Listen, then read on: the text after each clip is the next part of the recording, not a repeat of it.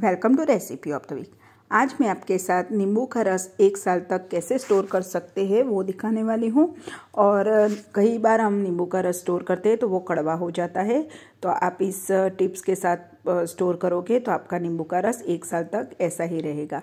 तो ये नींबू का रस स्टोर करने के लिए मैंने ये दो किलो नींबू लिए हो और नींबू हमें पतली छाल वाले लेने हैं। पतली छाल जो होती है इसमें नींबू का रस थोड़ा ज़्यादा रहता है।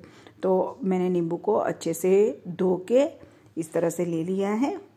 मोटी छाल वाले नींबू में रस थोड़ा कम रहता है तो हमें पतली छाल वाले ही नींबू लेने हैं। तो सारे नींबू को हम इस तरह से पोंछ लेंगे। अच्छे से हमें साफ़ कपड़े से पोंछ लेना है, जिससे पानी का बिल्कुल भी हिस्सा ना रहे।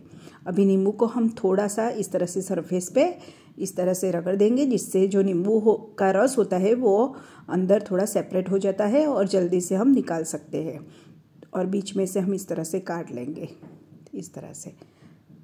तो सारे नींबू को मैं इसी तरह से काट के तैयार कर देती हूँ और बाद में हम साथ साथ में ही रस निकालेंगे। तो इस तरह से सारे नींबू मैं काट लेती हूँ। एक में से दो टुकड़े करने हैं तो सारे नींबू मैं इसी तरह से काट लेती हूँ बीच में से, इस तरह से।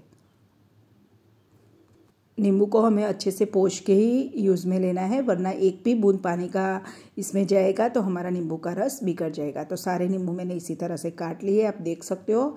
दो किलो जो मैंने नींबू लिए थे, वो सारे मैंने इस तरह से बीच में से काट लिया है। अभी मैंने कांच का बाउल ले लिया है, इसके ऊपर मैंने इस तरह से छन्नी रखी है और ये मैंने, मेरे पास नींबू का रस निकालने का सांचा है। ये लकड़े का है, स्टील का भी आता है और प्लास्टिक का भी आता है। तो ये मेरे पास लकड़े का है। तो मैं इसी तरह से जो हमने एक में से दो टुकड़े किए तो एक एक टुकड़ा मैं इस तरह से बीच में रखती जाऊँगी और अच्छे से प्रेस कर लूँगी।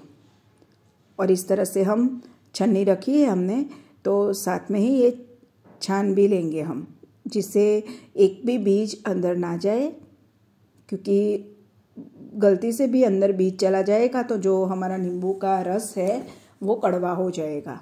तो ये छोटी छोटी टिप्स के साथ आप नींबू का रस स्टोर करोगे तो आपका रस बिल्कुल भी कड़वा नहीं बनेगा और एक साल तक ऐसे ही रहेगा।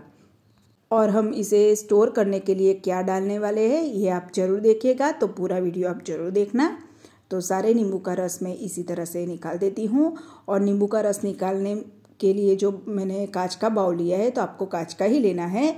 स्टील या प्लास्टिक का नहीं लेना है। तो सारा नींबू का रस मैंने निकाल दिया है, अच्छे से छान भी लिया है। तो ये आप देख सकते हो कितना अच्छा हमारा नींबू का रस निकला है। रसदार नींबू थे तो अच्छा सा नींबू का रस निकला है। अभी ये मैंने तीन टेबलस्पून नमक लिया है। जी हाँ नमक डालने से ये एक प्रिजर्वेटिव का काम करेगा और हमारा नींबू का रस बिगड़ेगा भी नहीं। करीब 700 सौ जितना नींबू का रस हमारा निकला है, क्योंकि ये बहुत ही रसदार नींबू थे और अभी हम इसे स्टोर कर लेंगे। तो नमक भी अच्छे से घुल चुका है। तो अभी मैंने एक कांच की बॉटल धो के पहुँच के थोड़ी देर धूप में रख के ले ली है और बाद में हम इसमें ये नींबू का रस जो हमने निकाल के रखा है वो भर देंगे।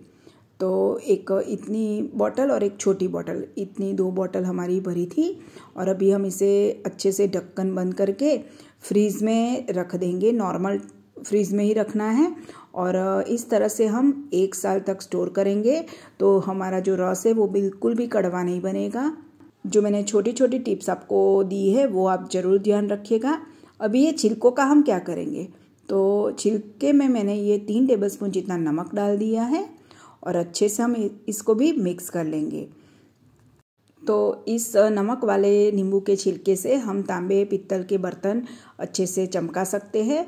तो मैं इसके लिए यूज़ में लेने वाली हूँ। तो पहले मैं नमक डाल के अच्छे से छिलकों को नमक के साथ मिक्स कर लेती हूँ और थोड़े छिलके मैं एक बॉक्स में भर दूँगी। और बा, बाकी के जो नींबू के छिलके बचेंगे, वो मैं दो से तीन दिन के लिए धूप में रख दूँगी और अच्छे से ये सूख जाए, बाद में इसको भी मैं एयर टाइट डिब्बे में भर दूँगी।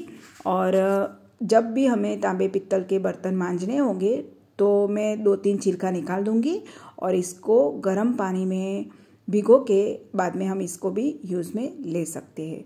तो नींबू के रस के साथ हम नींबू के छिलके का भी अच्छे से यूज़ करेंगे। तो आपको मेरा ये वीडियो कैसा लगा आप कमेंट बॉक्स में ज़रूर लिखिएगा।